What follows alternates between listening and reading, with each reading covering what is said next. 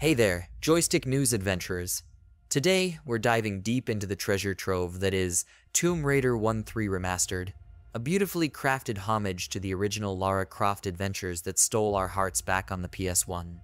But hold on to your fedoras, because there's a tantalizing hint nestled within this remastered trilogy that could point to more classic adventures getting the same treatment.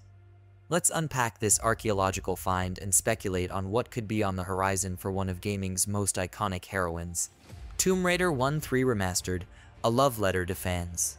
First off, the remastered trilogy is a masterclass in how to breathe new life into classic games. Crystal Dynamics has managed to apply a fresh, yet optional, coat of paint to Lara's first three escapades without altering the essence that made these games timeless. For old school fans and newcomers alike, this package is a perfect entry or re-entry point into the world of Tomb Raider. A hint at more to come. But the real excitement comes from a subtle hint dropped within the game. A savvy Twitter user, at Danthodon20, spotted a screenshot featuring the release date of the remastered trilogy alongside coordinates labeled next 29 792.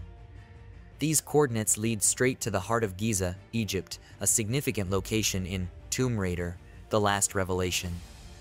Could this be Crystal Dynamics' way of teasing a remaster of not just The Last Revelation, but perhaps Chronicles and even Angel of Darkness as well? The potential for a remastered Volume 2. The possibility of a second volume of remasters is enough to get any Tomb Raider fan's heart racing.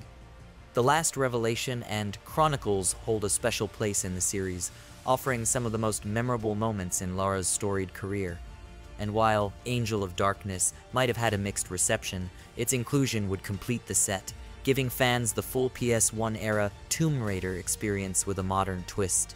Tomb Raider 12 Bridging Timelines. As we eagerly await more news on potential remasters, it's impossible not to be excited about Tomb Raider 12. Crystal Dynamics is ambitiously working to unify the Survivor, Legend, and original core design timelines, potentially offering a coherent narrative thread that ties together Lara's many adventures. With Unreal Engine 5 at their disposal and Amazon as the publisher, the future looks bright for our favorite tomb raiding heroine. The new Lara Croft, a nostalgic yet modern heroine. The first glimpse of Lara in Tomb Raider 12 is promising, showcasing an aesthetic that pays homage to her original look while incorporating modern elements. The iconic blue tank top, cargo shorts, dual pistols, and braid are all there, signaling a return to the badass action hero with charm and pizzazz that fans fell in love with. Personal take. As a longtime fan of the Tomb Raider series, the prospect of more remasters fills me with nostalgia and excitement. Tomb Raider 1 3 Remastered is a testament to the enduring appeal of Lara Croft's adventures, and the hint at more remasters is a thrilling prospect. As we look forward to Tomb Raider 12, it's clear that Crystal Dynamics is not only paying homage to Lara's legacy, but also setting the stage for her future. So, what do you think, fellow adventurers? Are you excited about the potential for more Tomb Raider remasters? What are your hopes for Tomb Raider 12? Drop your thoughts in the comments below, and let's keep the conversation going.